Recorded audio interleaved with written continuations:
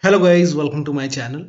Today in this video, I'm going to show you how to do a clean installation of your NVIDIA GeForce RTX 4060 driver on your Windows 11 or Windows 10 computer. Now for this, copy this link. The link is provided in the video description. Open this link in a browser. It will take you to NVIDIA website.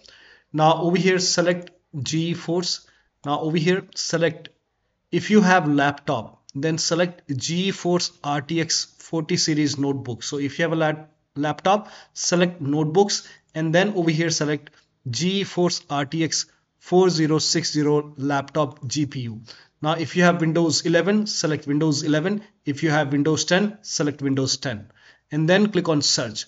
Now if you have desktop, select GeForce and over here select GeForce RTX 40 series and then select NVIDIA GeForce RTX 4060 over here.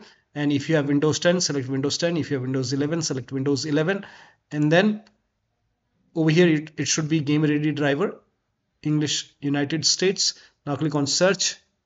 Now whichever is the latest graphics driver available you will be able to see. Right now this is the version. This may change in future there might be some other update.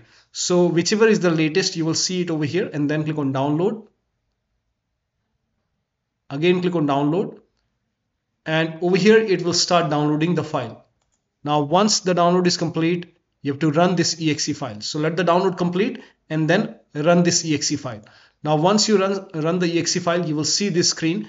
Click on agree and continue and then put a check on the box which says custom. You have to select custom over here and then click on next and then put a check on the box which says perform a clean installation. Make sure that you put a check on the box which says perform a clean installation and then click on next and it will first of all it it will uninstall the previous version and then it will do a clean installation of the latest graphics card driver. So put a check over here and then click on next and let the installation complete. Once the installation is complete restart your computer and you will have a the latest NVIDIA graphic card driver updated on your computer. So that'll be all. Thank you so much for your time and please like this video and subscribe to my channel.